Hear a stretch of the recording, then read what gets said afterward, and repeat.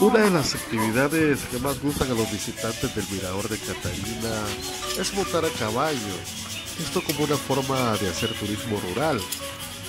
Nieves es una de las yeguas preferidas por los visitantes.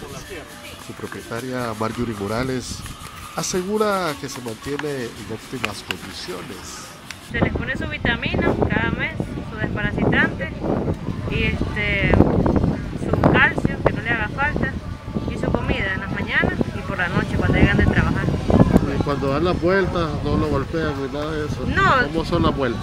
Siempre vamos nosotros cuidando los caballitos. Por si los clientes saben, ellos los pueden llevar solos, pero siempre vamos nosotros verificando que no nos vayan maltratando los caballos. Eh, tampoco no le ponen sobrecarga. No, sí, sí, es- siempre es una persona que va en cada caballo. José Luis Morales, quien también se dedica a este tipo de trabajo, asegura que el negocio ha bajado debido a la pandemia. ¿Cómo está la situación ahorita con la pandemia? Aquí ¿Ha estado bajo o qué? ¿Cómo? Ha estado regular aquí. Ajá.